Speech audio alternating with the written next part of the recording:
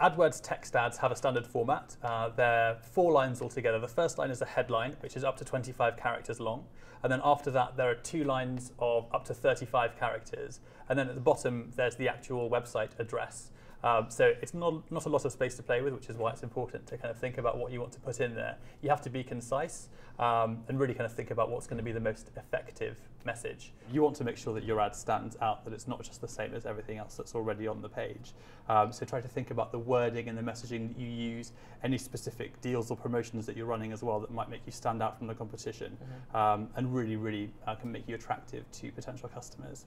So when I actually write this, what am I typing in and where and and what and how long and everything. Yep. When it comes to writing your ad, there are a few important things to remember. Uh, the first one is to make it as relevant as possible. So think about the keyword uh, that you are showing ads for uh, and how to make your ad relevant to a search for that keyword, first of all.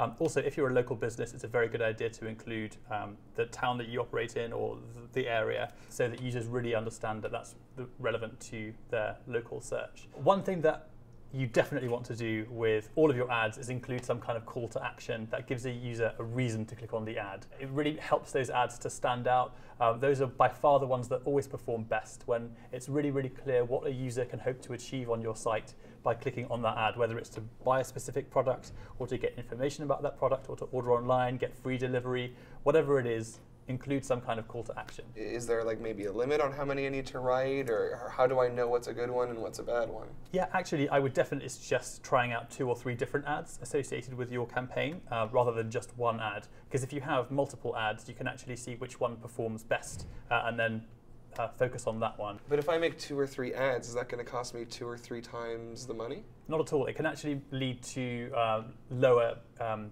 lower cost per click because if it's a if you have, say, three different ads and one of them clearly performs better than the rest, we'll start to show that one more, which will lead to better quality score for you as an advertiser, which means that you'll get better positions for potentially lower cost per click. Um, so it's actually a very good idea to have multiple ads. So it really feels like when writing my ads, I should think less about what I want and less about what Google wants, and actually the most about what the users want. Would you say that's true? That is definitely true. Everything that we try to do at Google puts the user first to make sure that they have a positive user experience, ensuring that they find the information that they want as fast as possible. So that's why it's definitely best to put your, yourself in the place of a user uh, and try and understand what they would click through to. Um, because in the end, they're the ones that click through onto the onto the web page, regardless of what it is that you want to try and push uh, towards a user they're the ones that are going to decide whether or not they want to visit your website. So definitely try and put yourself in their shoes.